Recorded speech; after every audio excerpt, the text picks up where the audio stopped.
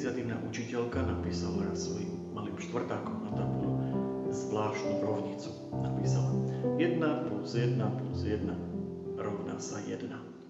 A pýtala sa žiakov, či je to správne. Samozrejme, všetci vedeli, že to správne nie je. No vidíte, povedala učiteľka víťazoslávne. A presne tomuto veríte vy, kresťania. Veríte tomu, keď hovoríte, že Boh je jeden a pritom sú traja.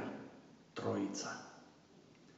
Vtedy sa prihlásilo malé dievčatko, prišlo dopredu, ku tabuli zotrelo všetky znamienka plus a miesto nich napísalo malé bodky.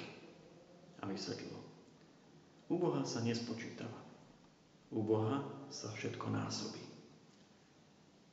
U Boha sa nespočítava. U Boha a v Bohu sa všetko násobí. V dnešnom evaníliu nám opäť Ježiš pripomína poslanie, ktoré je určené pre každého jedného z nás.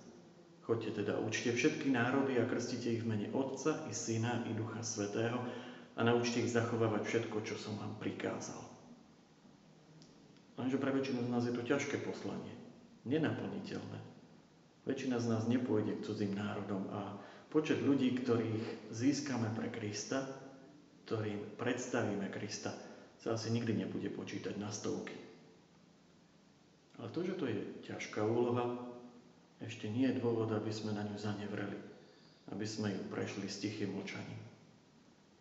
Nie je to dôvod, pretože Boh nespočítava. Boh znásobuje. Problém môže nastať iba vtedy, ak nebude čo znásobovať. Pretože ak nulu násobíme hodzaj miliónom, stále to bude nula. Boh znásobí každé naše úsilie. A preto poďme a učme všetkých. Hovoríme o Kristovi.